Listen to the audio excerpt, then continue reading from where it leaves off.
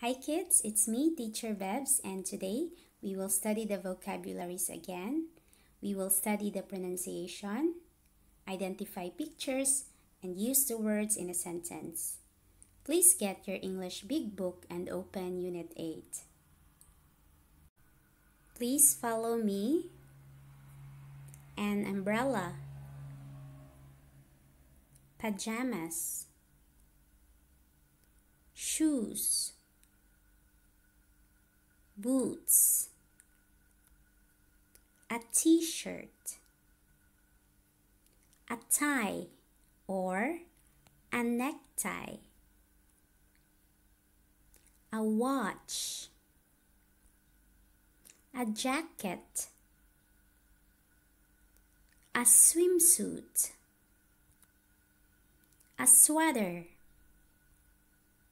jeans, Sleepers. Now I will show the pictures again and I want you to identify the pictures on your own and say your answers aloud. This is Anne. These are These are These are This is a This is a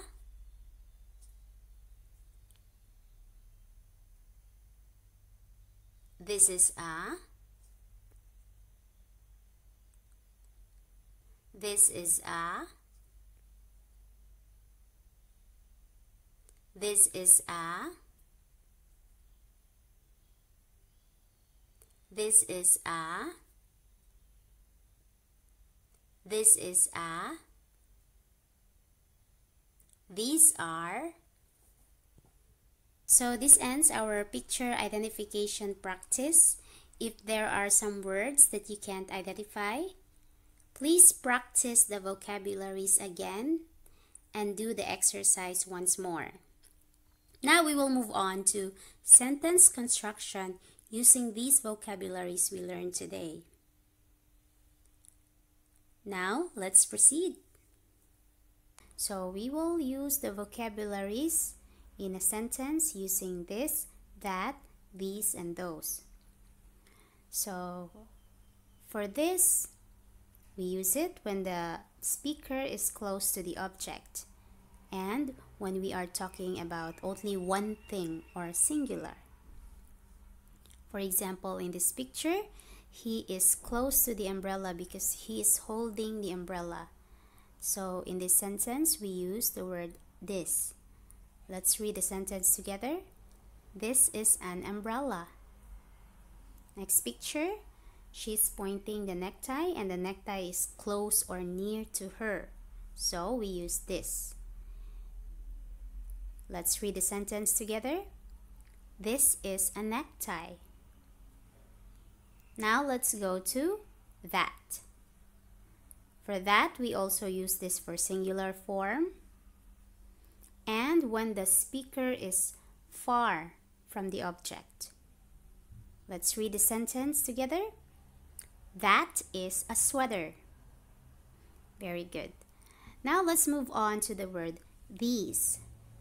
We use these for plural form and when the speaker is close to the objects or thing. These are shoes. Last one, we have the word those. We use those for plural form and when the speaker is far from the objects or thing. Now let's read the examples together. Those are pants. So this ends our clip today and in our next class, I will be teaching you the clothes that we wear above and below our bodies. So I'll see you on the next video. Goodbye!